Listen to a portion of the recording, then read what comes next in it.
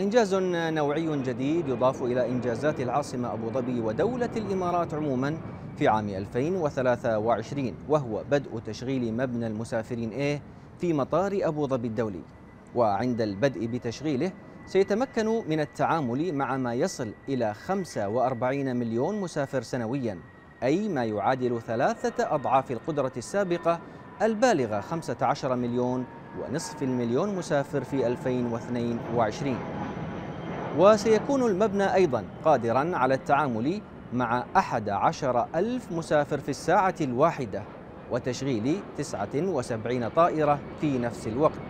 وسيخدم مبنى المسافرين A 28 شركة طيران بالمجمل حال البدء بتشغيله بكامل طاقته.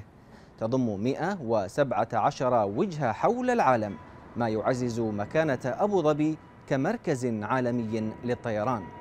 وتضم قائمة الشركات التي ستعمل من المبنى الاتحاد للطيران العربية للطيران أبو ظبي ووز إير أبو ظبي إضافة إلى 15 شركة دولية أخرى.